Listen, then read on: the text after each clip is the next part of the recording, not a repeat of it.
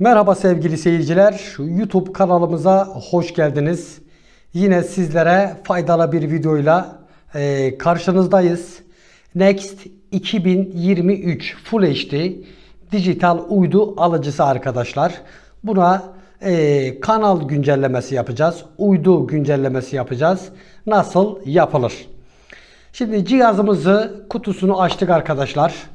Cihazımız Next'in 2023 modeli. Ee, cihaz öyle doğrusunu söylemek gerekirse ahım şahım bir cihaz değil.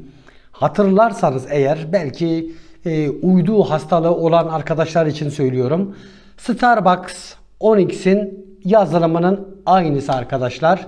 E, kutu e, mavi beyaz olması 2023 adının verilmiş olması cihazı sanki e, kaliteli bir segmentmiş gibi gösteriyor ama cihaz e, normal bir uydu arkadaşlar.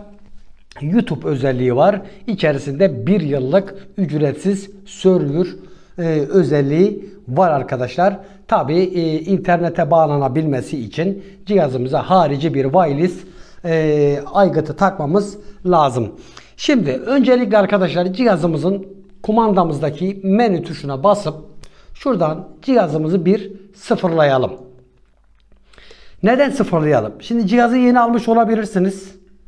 Videolara, videomu izlemeden e, kendiniz kurmaya çalışmış olabilirsiniz.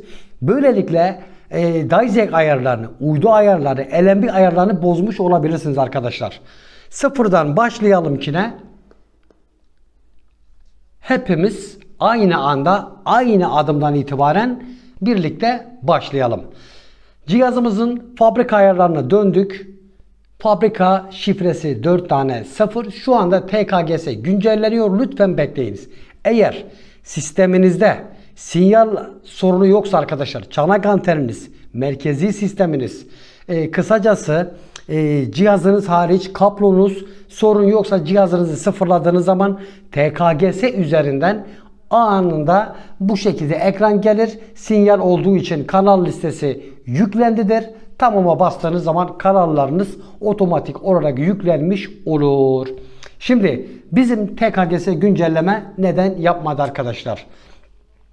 Sinyal kablosunu çıkardığımız için e, güncellemeyi yapmadı. Şimdi sinyal kablomu hemen takıyorum. Şu kutu ekranı engelliyorsa şuradan alalım.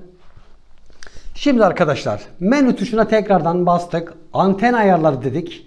Şuradan hemen ben e, TKGS güncellemeyi otomatikte olursa çünkü kendini e, güncelliyor. Şuradan kapatalım arkadaşlar. Birazdan oraya geleceğim. Anten ayarlarında arkadaşlar DiZek modunu kesinlikle biri seçmemiz lazım. TürkSat 4A uydusunda arkadaşlar. Bilginiz olsun. Şuradan TürkSat 2A, 3A, 4A. Şuradan Daize'imizin portu bir numara olması lazım.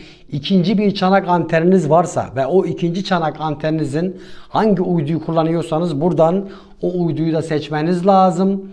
Bendeki ikinci bir çanak Hipsesat uydusu arkadaşlar. Sizler iki büyük bir ihtimalle Hot 1'tir. Oradan Hot 1'i seçtiğiniz zaman ee, Hot 1'i seçelim. Hipsesat'ı boş verelim. Şuradan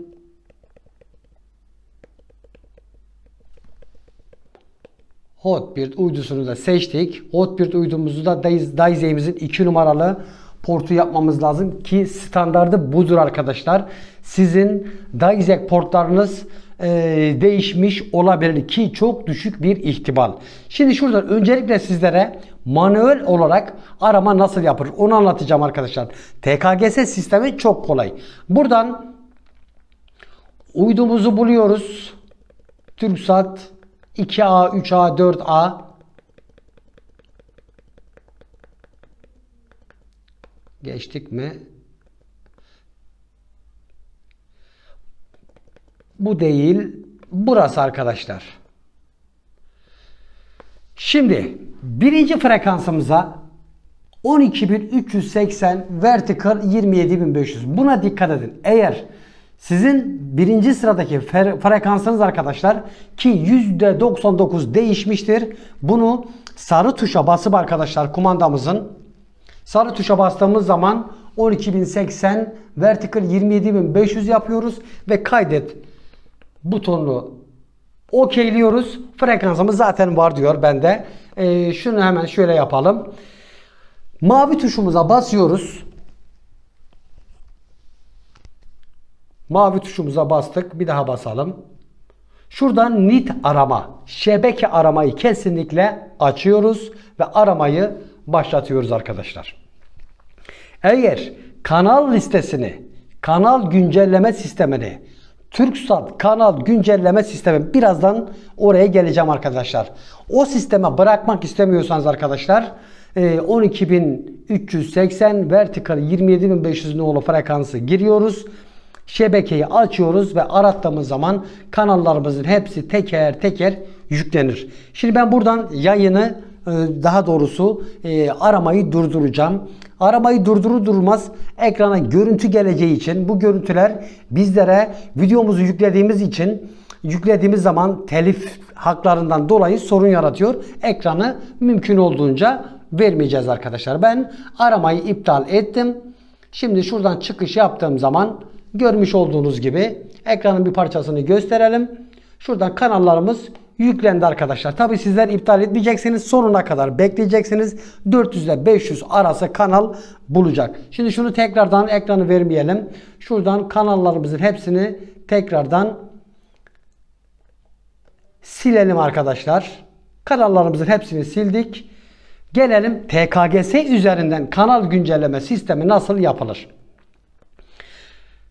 TKGS yani TürkSat kanal güncelleme sisteminin kısaltılmışı. Çalışma modunu şu anda kapalı arkadaşlar. Otomatik yaptığımız zaman adı üzerinde otomatik.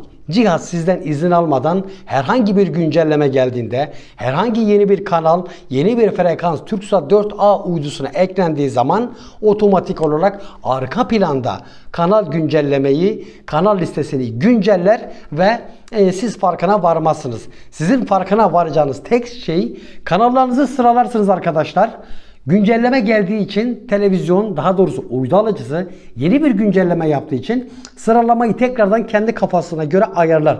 Siz de e, ya ben bu kanalları işte 2 gün önce ayarlamıştım, 3 gün önce ayarlamıştım. Bunun kanalların sıralaması neden değişiyor diye sorabilirsiniz ki bundan olduğunu da e, lütfen farkına varın bilin. Şuradan o yüzden esnek yapıyorum. Güncellemeyi başlat diyorum.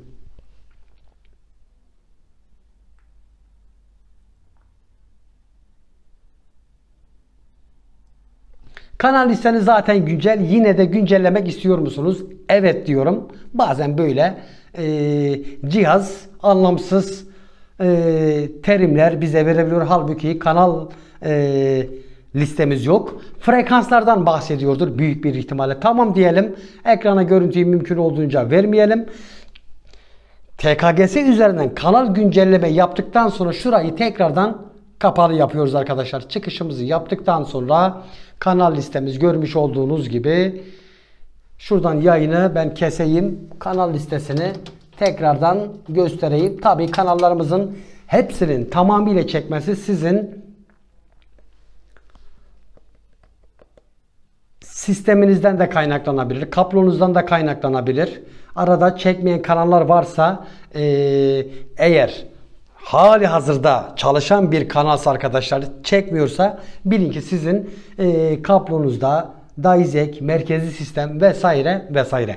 Şimdi uydumuzun kanal kurulumunu gerek manuel olarak gerek ise TKGS üzerinden yaptık arkadaşlar. Cihazımızın internet özelliği var. Bir YouTube özelliği var. E, çok da lazım mı arkadaşlar? Hani e, olabilir. Çünkü artık cep telefonları, tabletler, e, televizyonlar bile zaten e, uydulu, e, internette vesaire falan arkadaşlar. Buradan YouTube özelliği var.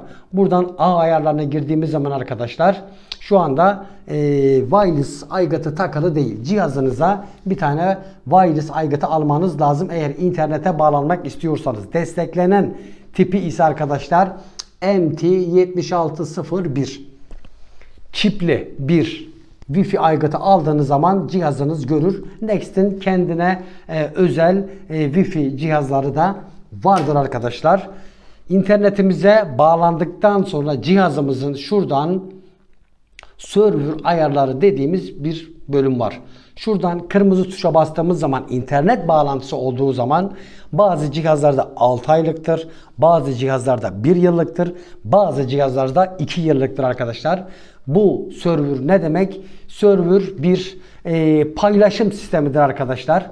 Bu e, server üzerinden e, serverla ilgili il, sorularınızı Nivcam, CCCam, MGCam ile ilgili e, sorularınızı arkadaşlar kanalımızın katıl butonunu tıklayarak sizlere orada detaylı bir şekilde ayrıntılı bir şekilde sizlere konuyu aktarabilirim.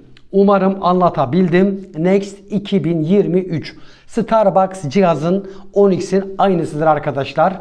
E, USB giriş var bir tane. E, USB üzerinden e, film kaydedebilirsiniz.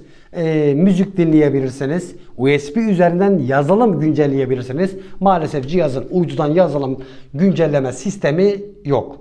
Bilmem anlatabildim. Son bir uyarı. Az önce e, demiştim arkadaşlar. Cihazın kod düzenleme bölümü var. Kod düzenleme bölümünde ise arkadaşlar özellikle bizleri BIS ve Thunderberg ilgilendiriyor. Bu iki sistem hakkında da bilgi almak isterseniz dediğim gibi YouTube kanalımızdaki katıl butonunu tıklayarak kanalımıza üye olarak, abone olarak demiyorum arkadaşlar.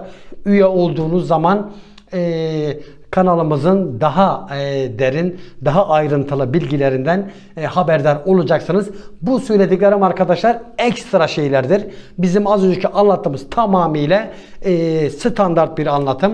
Bunlar daha farklı konulardır. Kanalımıza abone olmayı, videomuzu beğendiyseniz beğenmeyi, bildirimlerinizi açmayı unutmayın. Uydu alıcınız hayırlı uğurlu olsun. İyi günlerde kullanın. İyi günlerde e, seyredin. İyi seyirler diliyorum. Hoşçakalın.